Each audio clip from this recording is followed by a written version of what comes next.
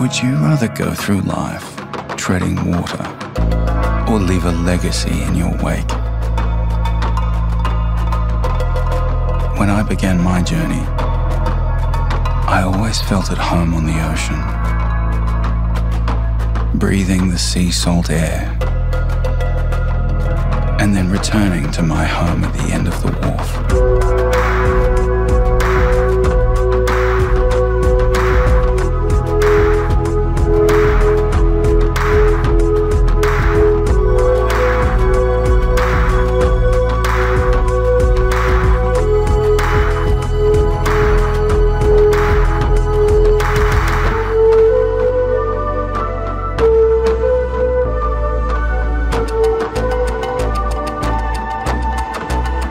Collins Street's waterfront neighborhood, where the city meets the harbor.